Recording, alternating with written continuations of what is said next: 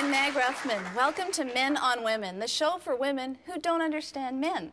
And there are quite a few of us out here. So, to help us out, we're going straight to the source men. Now, just what is it that indicates a woman is interested in a guy? What are the subtle things she does or says that let a guy know she digs him, baby? Do you guys know? You see, it's a good thing you're here because you don't. Well, then later we'll have a few juicy questions for guys, which maybe you wouldn't dare ask, but tonight I'm just going to go ahead anyway. And then the guys will answer as honestly as possible, unless their girlfriends are here. Tonight's real guy guests are Paul Schmidt and Jonathan McCready.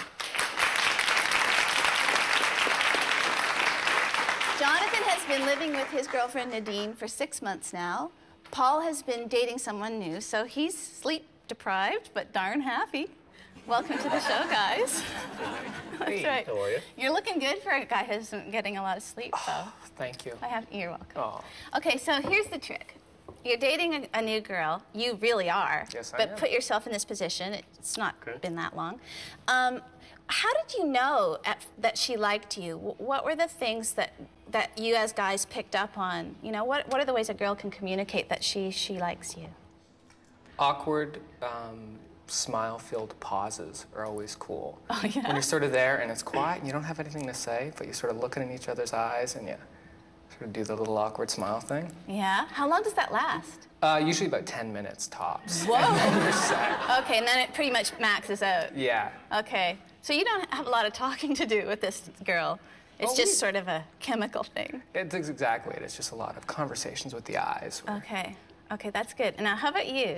Well, aside from, you know, having her laugh at all my jokes, she also seems to be interested in a lot of the things that I do. Well, that's that's always at the beginning. And then, you know, six months later, it's, oh, I don't like to uh, water ski. Where'd you ever get that idea? No, come well, on. I thought you did. Okay, but when you were first dating, what were like little things like? Um, well, you know, listens to what you have to say and, Yeah. and hangs on your every word and is really interested in okay. what you want to talk about. Okay.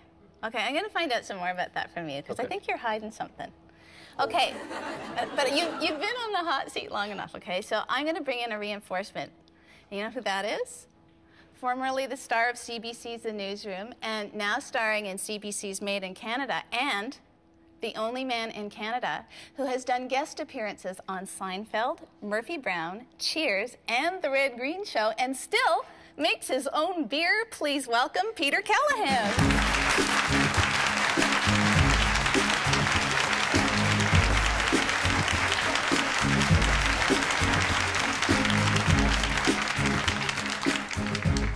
Have a seat. Now, could I just say something? He has no pants on, and to be fair, we weren't told that was allowed. Oh, oh, shoot. Oh, can we start over? Because, okay, move over. I'm, I'm, Oh, you're s- sitting here. I'm snuggling right in here. See, that shows she's interested. okay, here's the thing, Pete. Okay, so so let's say oh, let's say um, a girl is sitting beside you. Now, remember back to before you got married, okay? Yes. You were dating. Long time ago. All right. Okay, so what were the things that you know that Jackie did that, for example, that let you know, you know, like weren't there some subtle little things, little? Well, just on first meeting, you know, the hair thing is an awfully big thing. It is. Yeah. That's a big You know, like, thing. yeah, the way you just did. That's good. Like if you were to go, oh, Okay. I thought, you know, you Is there anything that a girl can do that actually is too much that's kind of embarrassing? And should I try that now?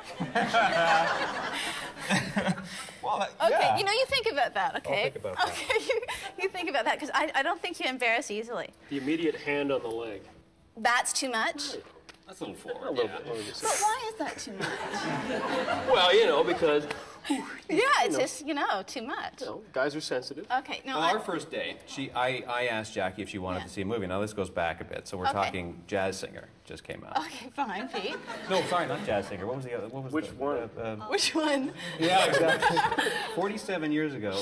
Okay. Uh, um, with the thing with Bob, Fo- the story of Bob Fosse, all that jazz. She's, she's, okay, thanks, Jackie. all that jazz just Okay. came out, and I asked her if she wanted to go see it, and she mm, Yeah. said, "Well, I have seen it, but ah. I'll see it again." Yeah. So there you go. She would see it again. Yeah. Okay, see, that's telling, isn't it? It is. Okay, you know what?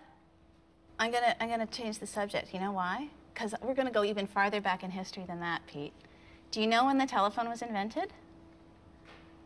1870 something. Oh, You're good. 1876. Yeah. Yeah. Okay. You know why I know that? Because it's been 123 years of agony for women. Because at the end of a date, a guy will say, "Okay, I'll call you." Yeah. Okay. And you know what that means, right? It's hell because you wait, and nothing You wait for the happens sometimes. Did you know sometimes the the phone doesn't ring? Well, if what are you gonna do? It's a you know? complicated device, and I, you know, It's- not all guys are technical wizards and such. So.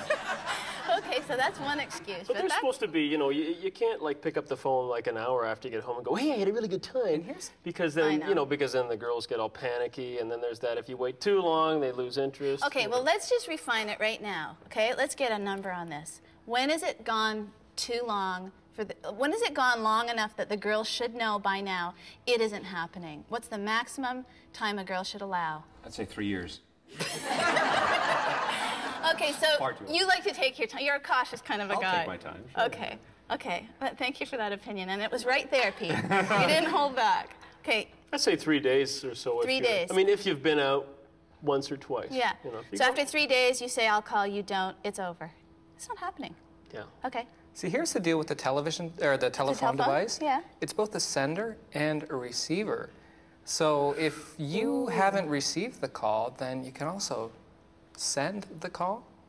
You know what I mean? you're like way deeper than me. See, I'm so, you know, I- maybe I'm from a different You generation. haven't slept enough at all. No, I'm okay? groggy. I I'm so tired. Okay, is- that's we what like to be called, though. We like to be called. Exactly. Have you ever had it happen when uh, a girl says she'll call you and then doesn't? Is that, does that ever happen? Yes. Does that happen? Yeah. See, I thought it was all one way. Nope. Okay. No, no, no. Ouch. It hurts. It smarts. no. Hate that. Got to keep going. You do. Yep. Okay, I got to tell you something.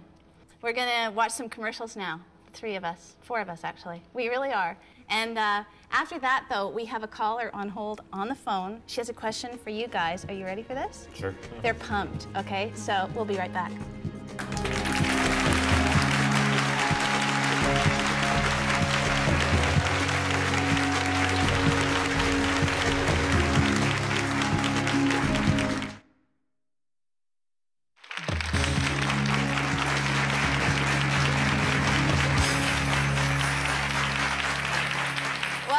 To Men on Women. Uh, we have Annette, who has been waiting and waiting to ask a question, and our helpful panel of guys is going to.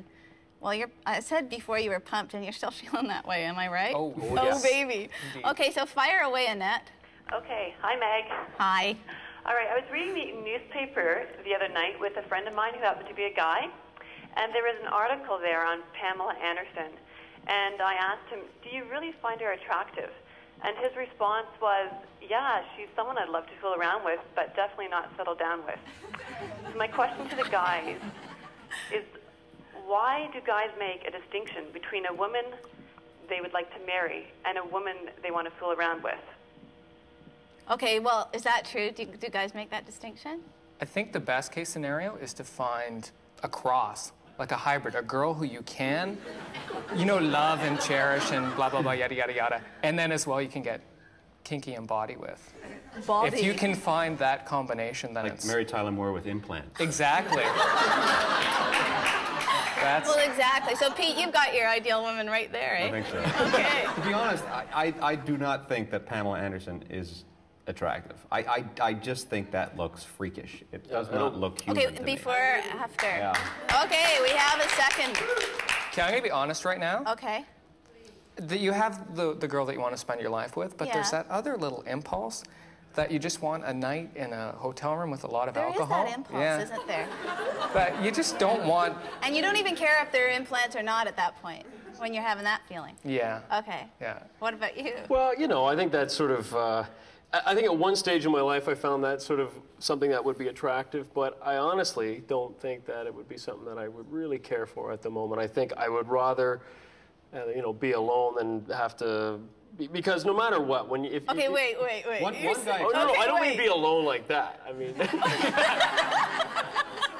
I mean, You'd rather be alone than with Pamela Lee Anderson. Yeah, It just comes yeah, to that. yeah. I think you are lying so much No, right no, now. no, Oh, and I'll tell you why. Because Okay, why? Because if you if you were to be, you know, get involved with somebody like that, there's Yeah. like it never just ends. You know, it, it, it there's always some residual stuff that will happen afterwards. Like Okay, you uh, got 10 years on me, and I don't think we're talking about like getting involved with, you know, meeting okay. her parents and We're all that other stuff. We're talking about stuff. a quickie here. Yeah, exactly. One Okay.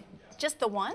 Or, or a couple, depending on your stamina and the amount of alcohol and whatnot that you have Okay. handy. But no, I th- uh, maybe again, you guys have s- some time on me. But at this stage of my life, I'm you know 25, and Yeah.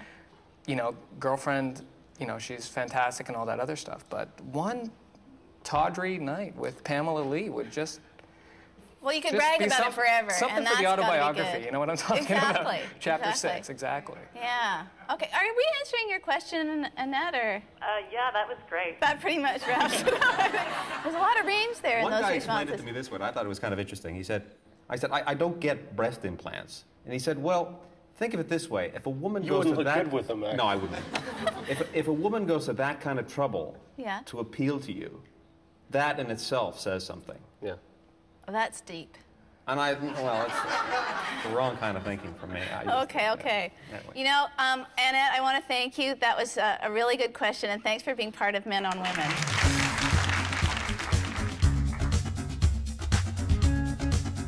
Kissing on a first date, I think it's a judgment call. That kind of, um, if the date goes really well and, and you know you can feel that that sexual tension there, I think yeah, I think there's nothing wrong with that. Um, but if if you know there's a little tentativeness or if you had too much garlic, maybe handshake is you know, you know, see you in a couple weeks kind of thing. That's always a tough one, to deciding whether to go for the kiss on there. How do you go for the kiss at the end of the date? That's that's really, you know, what kind of and and and is it the lip kiss or the cheek kiss or the forehead kiss or you know the the ear nibble? What do you go for? You don't you don't know. I mean, but you just sort of have to sort of play it by ear. Sometimes um, she might make the move, and and that tips you off. Um, there's nothing worse than going for the lip and she turns the face. Uh, that's a, that's a bad one there because you're caught. You're you're you're done. You, you said, well, I, I, I tried to uh, I tried to throw the long pass. Somebody was offside. I got the flag. Now I got to get moved back. It's third down. I'm going to have to punt. It should be soft, slow, sensual, not a rush. I think that's the ultimate in terms of in terms of kissing actually. I think kissing actually is one of the most intimate forms of I can't say intercourse actually, but um, expression really that you can do. I mean, I wouldn't, on a first date, kiss a girl on the lips if I really liked her. I mean, I would kiss her on the cheek, you know. I would, but again, I'd get this, the sense that yes, you and you know what I mean. Like sometimes it's there's a good chemistry, and other times you're fighting the chemistry, and you know you're you're searching for that common ground, but it's just not there. Okay, so there's a lot of tension anyway on a first date. But in 1979, I'll wager it was. I mean, I think we can all think back. It was much more permissive in the 70s. Oh, you're right. Uh, I, I, I think we did, but it was like a, you know, it, the, the not knowing is always exciting too when you're saying goodnight and wondering whether or not, you know, you should actually do this or not. Yeah. How long does that pause kind of go on? Is there a lot of staring involved? Well, if you say goodnight and she's gone, you Yeah. know, that's not, you know, that's probably not a good, you know, you don't want to chase her. You don't want to chase the girl, no. No. No, But, but, Yeah. what? didn't I deserve a kissing? you know, that kind of just, that kills it right there. Okay. okay, so, okay, so what about you? Did you, you've been, this is, you've been through this really recently. Very recently. Yeah. And uh, no, we did not. You did not? No, no, no, no, no. I'm finding patience is a virtue. Really? Yeah, yeah. Okay. Because uh, generally speaking, I think there's a game of sexual chess that was played eons and eons ago, and women won. Oh, yeah? And guys are just quick to jump, quick to jump, and it's girls defending, parry, and all that sort of Yeah. stuff. So you haven't kissed her yet? Well, well, no, we have not. Uh, no, what I found actually though is uh, i i there's no rush. I mean, Yeah. she's there as long as we're together, and it's one of those things where I found that by waiting, it's Mm-hmm. just been a lot cooler. There's a lot more excitement built about it, and it's Yeah. it's uh, it's pretty cool when, as a guy, you're always the one sort of rushing and trying to push stuff. So Yeah. when, it, when if you have a moment what where, in particular? well, Okay, You know. things, the, the, the Oh, body it's a winking thing. But if uh, the coolest thing that I found is when uh, when uh, my girlfriend has sort of been the one initiating, sort of wanting to take it the next step. Uh-huh. That's the coolest thing in the world, and I think that comes from realizing that you know she's there and she's not going anywhere. And when you have that sense of Yeah. trust and that sense of faith, it's just so cool to yeah. sit back. And then you guys and are patient and, like that too, right? That's when you pull back, right? Say, no, Yeah. I'm not ready. No, no. I've done that. I've done that. You've said that? I have said that. You have said that. I that. said that. We have to talk. but, so, but you know what? Sometimes What? you're not. Like I wouldn't on a first date. I would really. I mean, let, let- you know, let's say you know I've been dating for 16, 17 years. Okay. So maybe when I was 18 or 19, yeah, I would you know maybe want to get that kiss happening. But now I want to be able to say good night, uh, thanks for everything, and call. Drive her mad. You know, but no, I'm not necessarily do true, that. though. But It's you got to step back and evaluate the situation. And I think, okay, was she cool tonight? Is she going to be crazy in a couple of weeks? Do I want to get involved with her that quickly? So, Oh, okay. So you know, it's a self-protective It's, thing. uh, it's absolutely a self-protective Oh, okay. thing. Yeah, I've been burned on it in the past. Yeah. I've rushed into relationships where you know you sleep together way too soon in the relationship, and Oh, then you know it comes down. Uh, you'll just get you can get burned on it very easily. So if you're a bit more cautious, you you know it's not a race, it's not a sprint, it's a it's a marathon. You're in it for Okay, a so you kind of agree with the last guy, the slow, that The- slow. I think the last guy was sort of trying to be a bit Okay. too cheesy. It's just you know be Oh, that was a cheesy be thing, comfortable, relax with Jeez, the I'm building a lot of awareness now. Okay. Did you know that 97% of women like being kissed on the neck, though? I did know that. You did know that? You both knew that? yeah. Did you not know that? Well, I Trial mean, and Baby, error. get home right I- after this. I didn't know the actual statistic, but you know, Okay.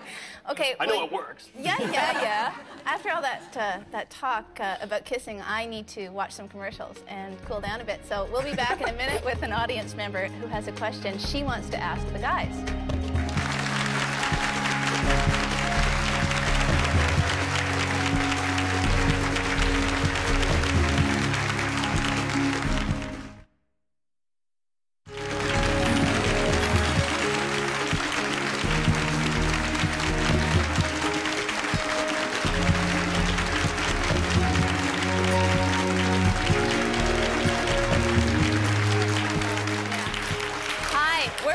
With Peter, Paul, and Jonathan. It just doesn't scan, does it? Real guys answering questions about relationships from women who can't figure out what guys are up to. Uh, we're going to have a question from Lori in our audience now. You want Hi. to go ahead? Hi. Okay, hi.